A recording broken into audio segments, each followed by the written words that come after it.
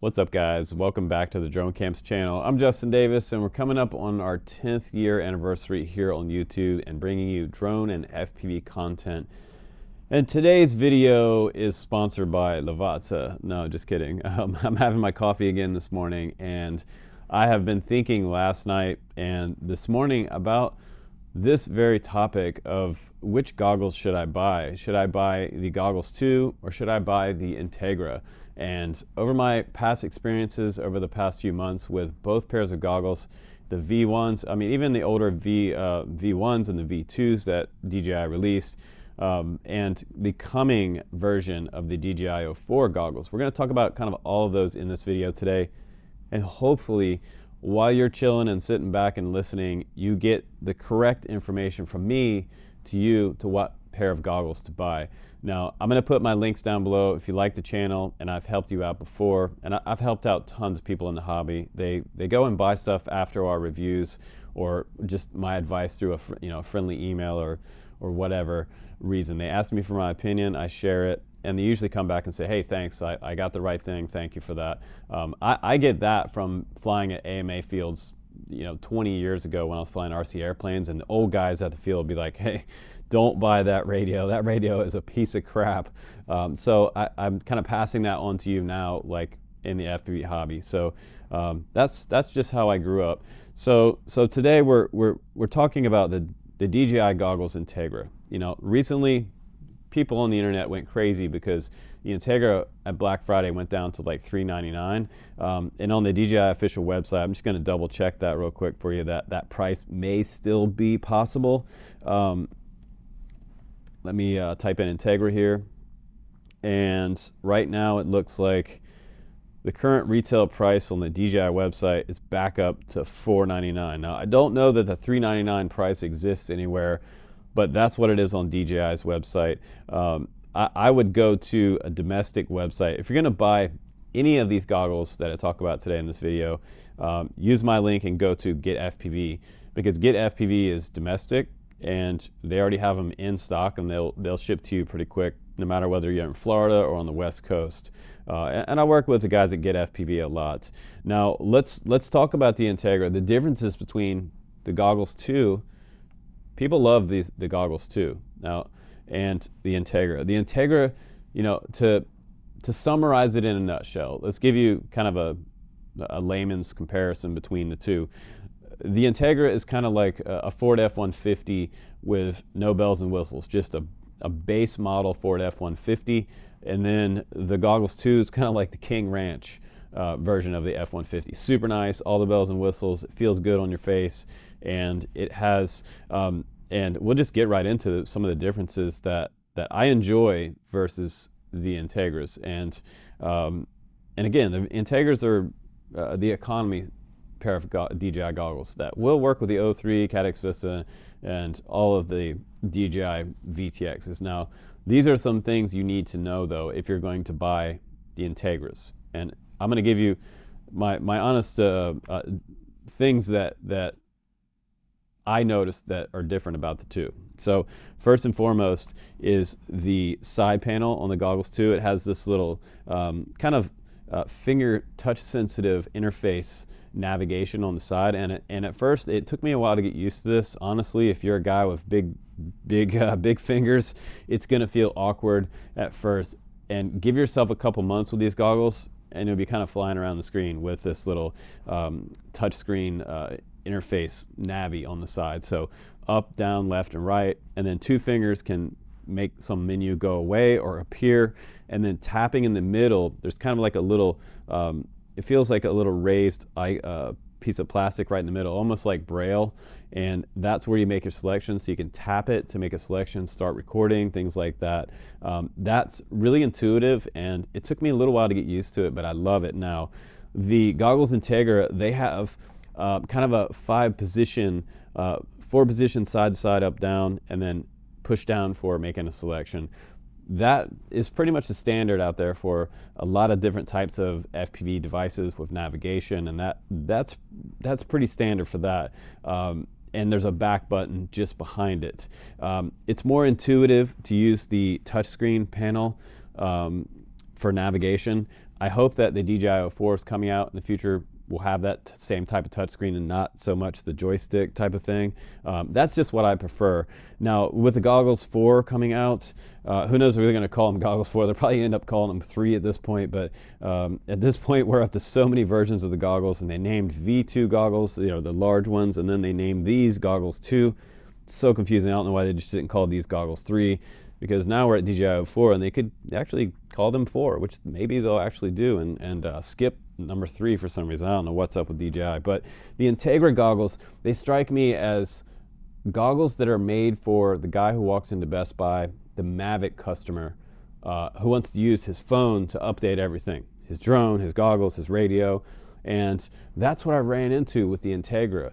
Uh, we have this thing called the FPV Repair Center, and if you look on our website, dronecamps.com, refresh the page and go down a little bit, you'll see this link right here. If you have a drone setup that you need to send out to us, like a drone, radio, goggles, and you want it all set up, we'll professionally set it up, set up your switches, and we'll ship it back to you working uh, with everything set up in Betaflight, OSD, HD OSD, all set up. It's a $150 service plan, um, and we also have a two drone setup as well. Now, I was working with the Integras from a client uh, so I want to say thanks to, to um, Vic out there. Vic, if you're watching, I was working with his goggles Integra and I went to update them and I plugged them into my computer just like I, I would my goggles too.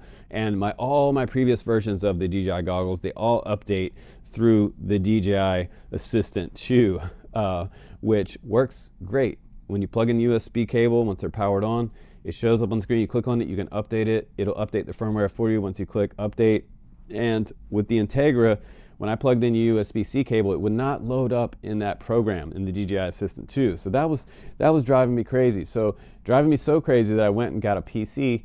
I installed DJI Assistant 2 on a PC, loaded the drivers, restarted the PC, still wouldn't connect. So um, I was kind of out of it until so I hopped on Google and I see, oh my God, you know, the Integra, this was my first time trying to firmware update them. I realized that the firmware can only be updated through the DJI Fly app. So I have to go download the Fly app, connect the Integras to the Fly app, and once I got it connected to the Fly app, guess what? Again, uh, more issues.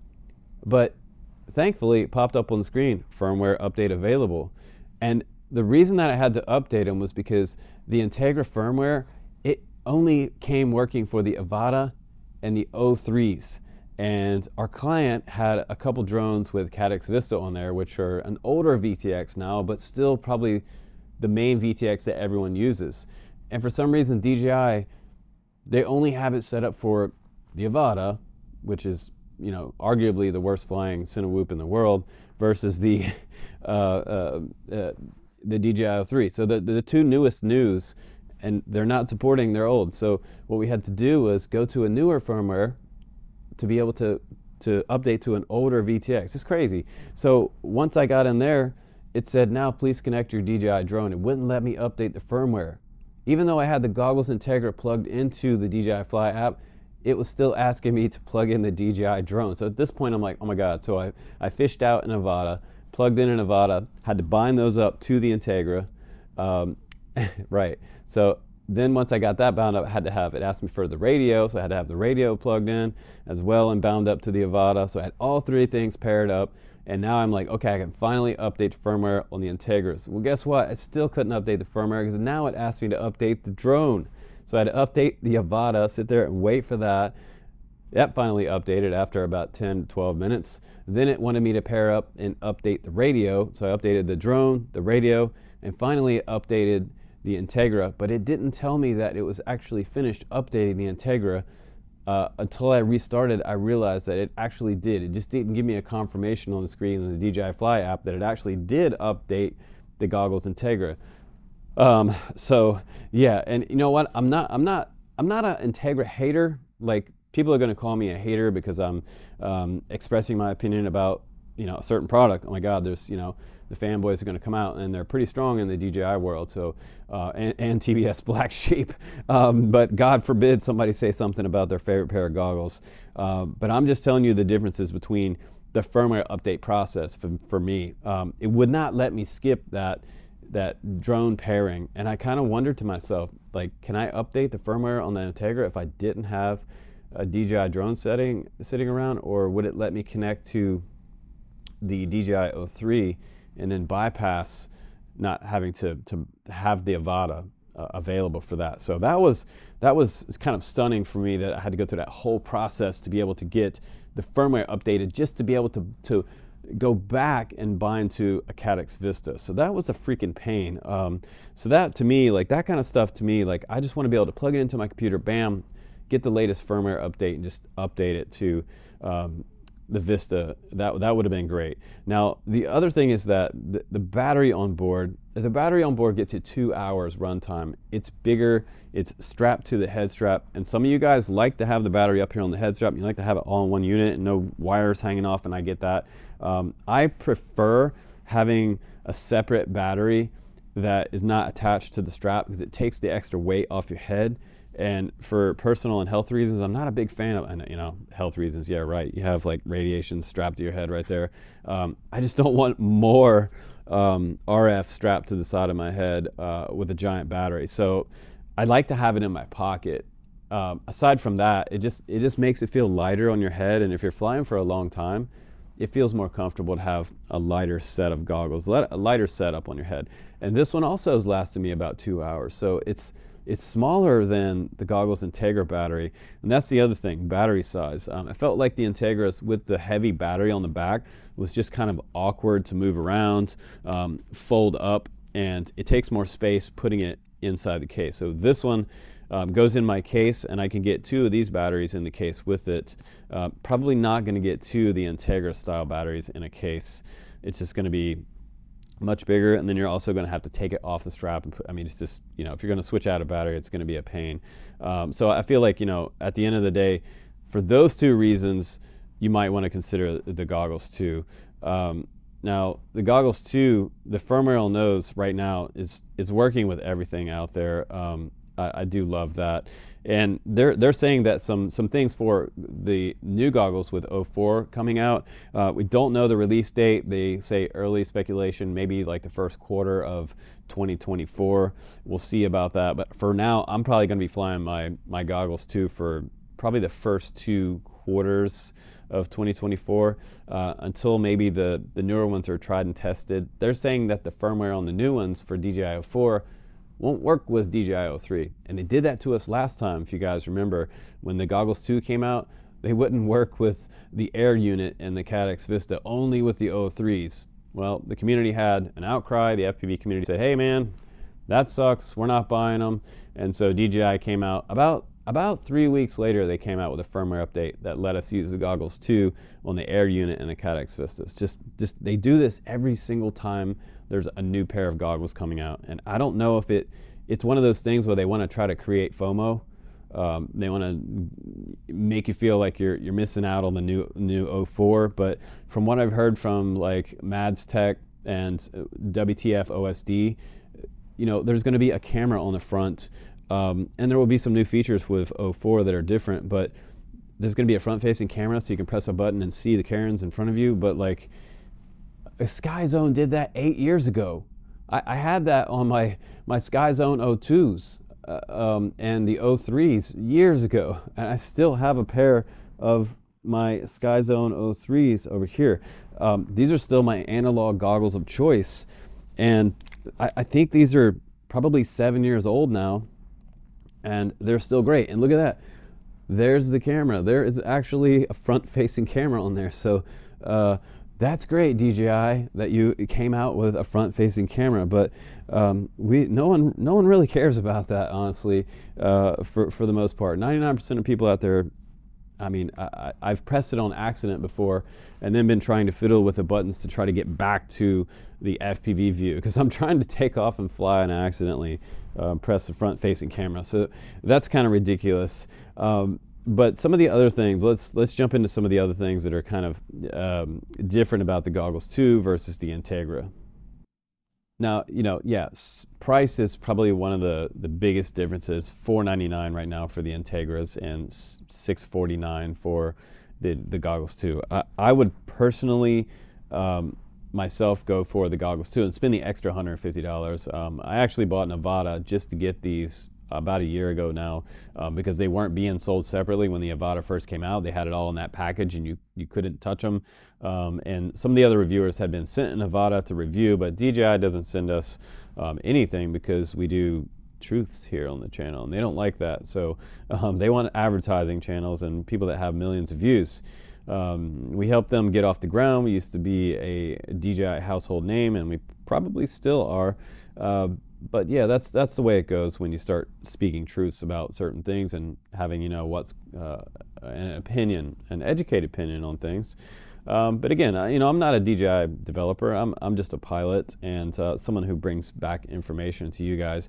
But one other thing that I did notice in in the specs that you know I, I wish was a little bit different for the goggles Integra versus these goggles, and it's this right here. So with this you can remove the goggles 2 antennas. They come off just like that and I can snap it back on. You can also upgrade these antennas uh, on the goggles too. So that that's a nice feature. It does say on the goggles Integra specs that the antennas on the goggles Integras are non-removable. Um, so that's kind of concerning. Someone make make a comment down below if if you've taken yours off or you figured out a hack to to pull those antennas off and replace them. Uh, but they both have OLED screens. They both work both work with O3 natively, um, and they both support H.264 and 265. That's that's pretty great. Uh, but the biggest difference is probably the firmware update process, which is a total pain, the battery strap, and the navigation for me. Um, but other than that, they're they're they're fairly similar um, once you get around some of those kind of pitfalls. But that's that's been my experience in the past couple months, and hopefully that helps address and answer some of the questions about the differences between the big differences between the Integras and the goggles too, um, because so many of you guys are on the fence about what to buy because of the price, uh, the dramatic price drop. And again, it looks like the, the price is back up to $4.99 here. So um, I, I would suggest if, if you decide to buy either pair, get them from a domestic company uh, because they can ship to your house a little bit quicker than they can from DJI. Uh, and you know, DJI may have a warehouse in LA, which they did 10 years ago. So those may ship domestically, or you may be on um, back order uh, log, so you may have to wait a little bit longer. But I would get them from Get FPV because they're a great company. Um, they are domestic, and I was just thinking recently, oh my God, you know what what happened if like Get FPV ever went under? Um, we also have like folks like RDQ, um, Tyler Brennan's company, still supporting the FPV community and and Pyro drones. So thank thank God that we have still three big main sources for FPV hardware in the United States. Um, we got to give some praise and thanks out to those guys for, for still investing in us. Um, that makes me feel happy. So a lot of FPV companies have went under in the last two years, three years since the um, pandemic started. So um, yeah, count your laurels, guys, and uh, stay happy and healthy out there. And let me know what coffee you're drinking. Uh, this morning as you're watching this video or this afternoon. And uh, I'm going to finish up my last cup of coffee here. Got a big mug today. And uh, take care. Please check out our links down below, and I will definitely see you on the next one. I hope you enjoyed the video. Bye bye.